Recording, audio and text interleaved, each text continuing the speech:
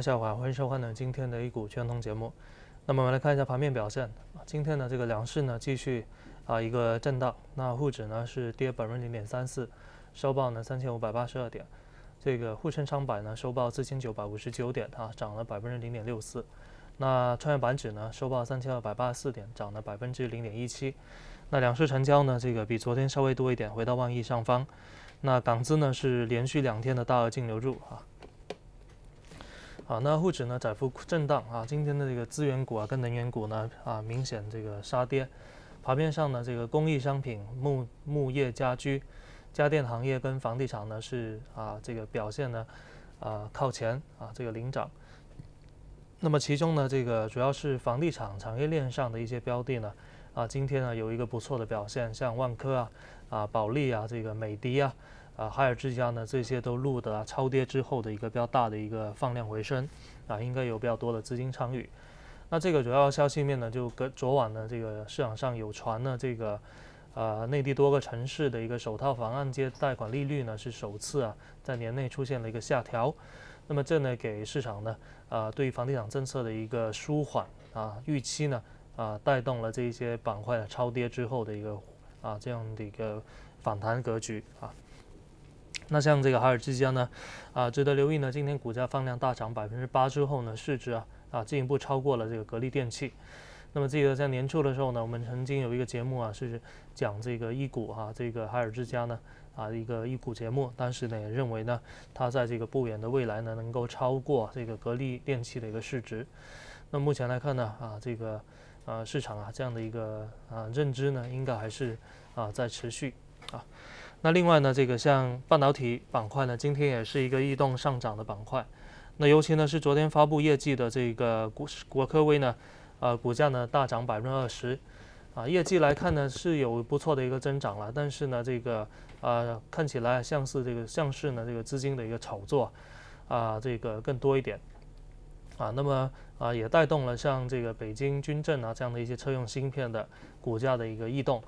啊。那么，呃，这里面呢，这个值得留意啊，就是呢，消息面早盘呢有一个关于啊，美国呢在去年十一月份呢开始把中国华为啊芯片呢啊这个跟这个中兴呢啊纳入到一个出口管制黑名单之后呢啊，它里面的一个对啊最后啊对这个华为跟美国啊跟这个啊中兴啊这个设备出出货呢啊的一个数据。那么从数据来看呢啊，尽管呢有一些这个黑名单。啊的一个限制，但是好像呢这个出口到这边的一个啊这种订单合同啊，还是有数千亿的一个价值量。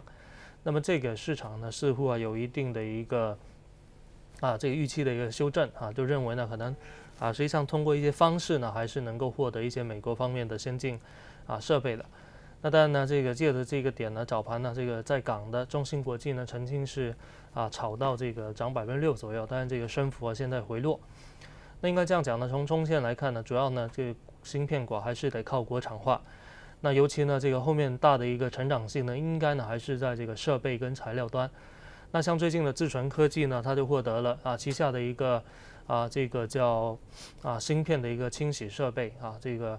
啊这个子公司呢获得国家集成电路基金二期的一个加持。那与此同时呢，像之前呢这个国家集成电路基金呢减持一些设计。啊，半导体厂商像啊这个金金方科技啊，跟这个兆易创新啊，所以呢，现在这个从后面来看呢，似乎啊应该说呢，这个设备跟材料机会更大。像今天呢，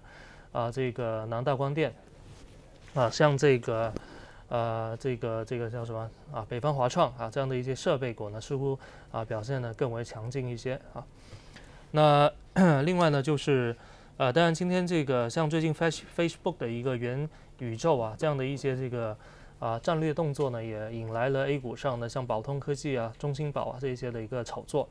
那大的几个标的啊，像完美世界啊、三七互娱这一些呢，啊有一些资金尝试拉去这个拉，但是呢这个股价啊似乎呢还是在今天来讲的这个幅度啊，并没有说有太大的一个上涨。这些呢可能真的要等啊这个版号的一个催化，或者说各自游游戏游水的一个催化。啊，那另外呢，像工业母机呢，这个板块概念呢，也是午后呢开始异动。啊，那这个啊啊，那么看一下这个领跌板块呢，刚才讲呢，主要是能源资源股啊，这个煤炭啊，能源这个钢铁、金属呢，有色这些全部领跌。啊，中神华这个中冶呢，昨天反弹之后啊，今天基本上把昨天反弹力这个升幅啊全部回吐出去了。啊，那另外呢，这个华友钴业呢，有色金属里面今天呢两千两百亿市值呢跌幅比较大的，跌近百分之十。这一块呢，主要就是一个新闻呢，啊啊，大家不知道有没有听说呢？这最近这个特斯拉呢发出来的几款车啊，啊，都全部用的是这个磷酸铁锂电池啊。那么也表示呢，后面这个啊通用续航型的一些车型呢，全部要改用这个磷酸铁锂啊。那磷酸铁锂里面呢，这个它应该说是一种技术路线。那么跟它对应的这个伤元这个锂电伤元电池，那么伤元电池里面的正极材料其中一个呢，就是啊这个锂钴镍嘛啊，那就是有个镍啊。所以呢，这个我们也看到呢，在最近上半年那个专辑里面呢，实际上这个磷酸铁锂电池的装机量呢，已经是超过百分之五十，超过这个动力电池三元动力电池哈。但这里面呢，有一个是因为运用了一些刀片电池结构啊，包括这个特斯拉自己的另外的一个电电池结构啊，令到了这个通过扩大空间的一个占有啊啊，来提升了这个能量密度的不足这样的一个啊，达到呢这个既能够有续航又能够稳定的一个效果。那相对来看呢，三元电池呢，一个是呃能量密度虽然高啊，但是相对来讲呢，这个为了达到稳定呢，它配的这个金属啊，镍跟钴呢，啊需要用一定的比例，这些呢又是啊这个比较贵的一些金属啊，啊所以呢这个整个成本呢，在做普及的时候呢，很难啊这个把成本降下来，会拖累啊这个啊市场的一个啊这种普及的一个进度啊，所以呢特斯拉在这个位置上呢，啊选择呢这个变更啊电池路线呢。啊，我觉得呢是给一些有锂矿、镍矿啊，有这个镍矿或者说上甚至是一些三元电池的啊一些分支啊，会带来一个不确定性。那么这个呢，应该也是影响到了华友钴业呢。今天呢，除了说在整体周期股走弱的一个情况之下呢，它要显得跌都跌的更多啊，可能就是跟这个镍啊方面呢后面预期的一个需求啊啊有一个不确定性有关了。好，那这个期货市场上重挫呢，啊，现在已经跌到是一个流动性这个缺失的一个跌停了。那么这样的一个情绪呢，也是啊开始向其他一些品种外溢，甚至呢对股市呢其实出到一起到一定的一个映射的一个效果。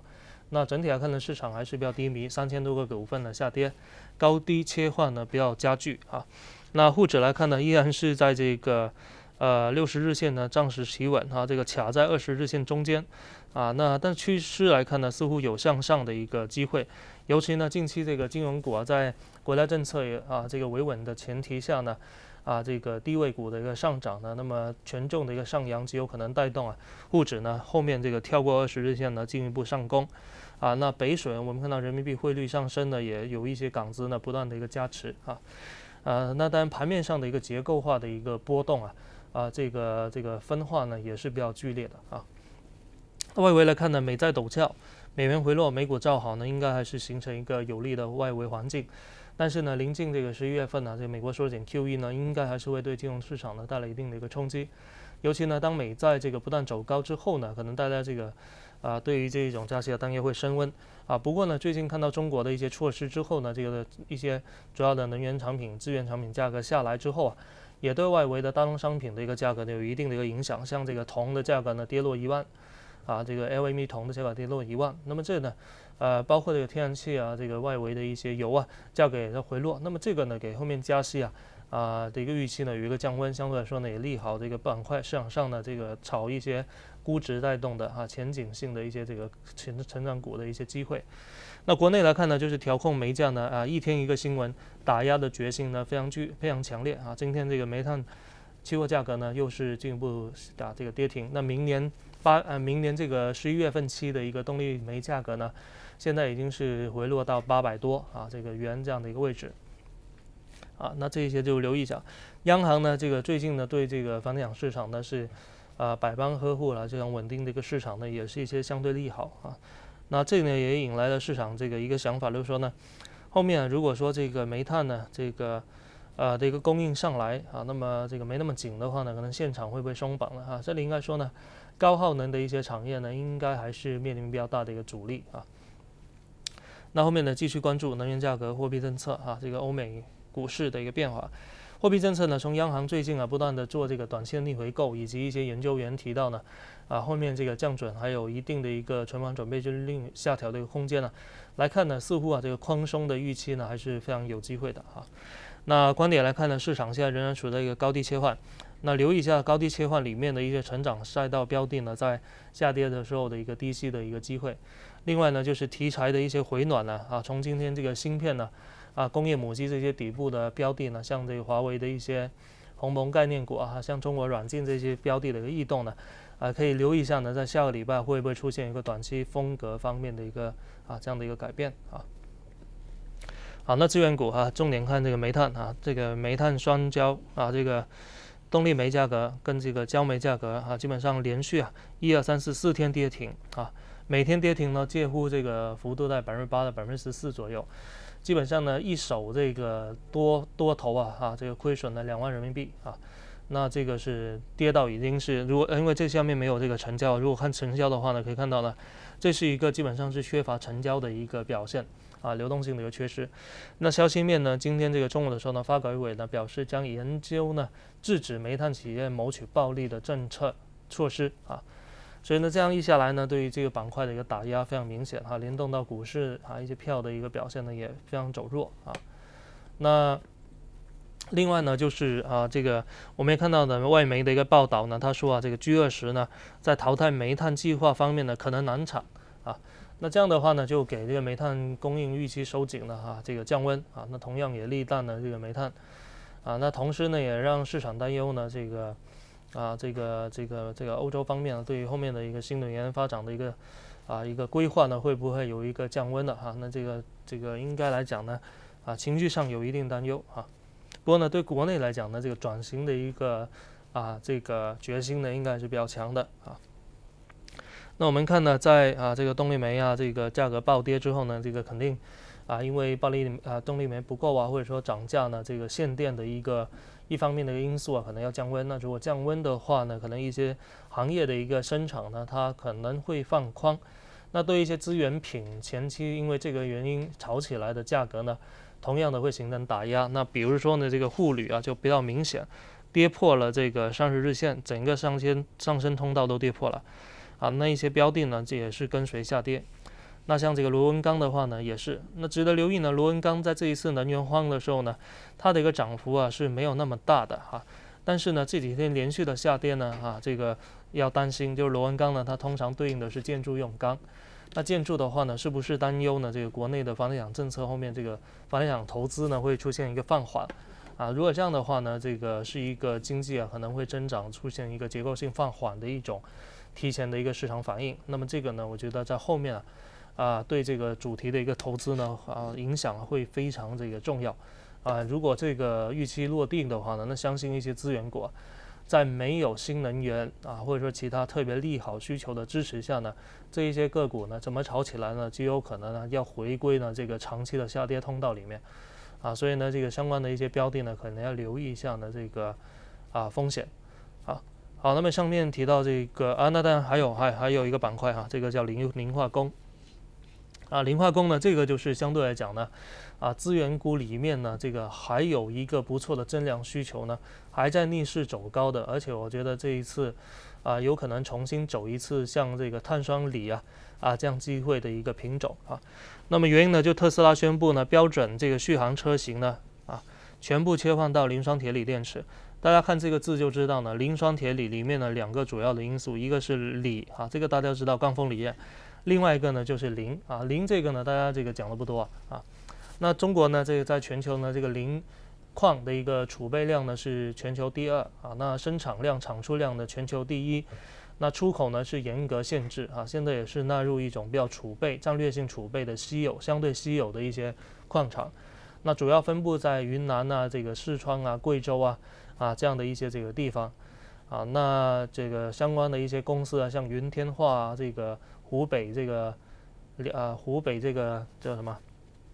啊，这个什么？呃，一一一化啊，湖北一化啊，没记错的话，啊，像那个呃一些其他的一些标的吧，啊，像啊，这一些呢都是有一定的一个磷矿的啊。那这个啊，这个我们看到这个磷霜的一个价格呢，哈，起初年初大部分时间都在六千多的一个徘徊，突然间呢，在九月份的时候呢，爆飙升了哈，飙升到这个两万啊元一吨。那么最近有一个调整。那么我们知道呢，这个磷呢，它的一个磷矿提取出来的一些这个化工产品呢，啊，一个是用来制作这个农啊农药化肥啊，那当然这一块呢，啊也是有一个周期，现在还是在一个复苏通道里面。啊，那像这个云天化啊，这个这一些标的呢，都是啊有有这个不错的一个业绩的一个反应的啊。另外呢，就是啊这个同样的啊，它也可以用来呢做这个新能源车动力电池里面啊磷酸铁锂电池里面这个磷酸啊的一个主要的一个来源啊。那么这个特斯拉宣布切换之后呢，可能很多这个其他的车车车企啊，它也可能会跟着这个切换。那么动力电池呢，它就要备更多这一方面的一个货。那如果这样的话呢，我们看到像宁德时代呢，跟这个湖湖北一化呢，啊，有一个生命绑深度的一个绑定啊，就是呢看好呢它它有这个磷矿，啊，所以这些呢现在也可以看到一些动作还挺多的哈，呃，有有这样的一些这个利好啊，所以相关的一些标的呢，呃，大家可以看一看。那么后面呢，有时候在一股的节目里面有机会呢，我们再来这个具体的分析一下。那从这个东方财富这个股票指数磷化工来看呢。啊，也值得留意这个磷化工的一个概念呢，实际上是在今年九月十七号的时候呢，才刚刚出来。啊，那么在这个高潮呢，因为这个位置上呢，受到这个滞胀啊、限电的一个担忧呢，有一轮比较大的一个调整。最近呢，慢慢又起来了啊。那相信呢，这一个行情呢，应该还是比较偏下一轮的大的一个行情的一个开始。啊，那么呃，这里面的一些标的呢，我觉得大家呢有有这个时间啊，可以自己呢去看一看啊，找一些这个相关标的呢啊，跟踪一跟一跟啊。好，那么上面提到这个股份呢没有持有啊，那下个礼拜节目里面呢，我们再见。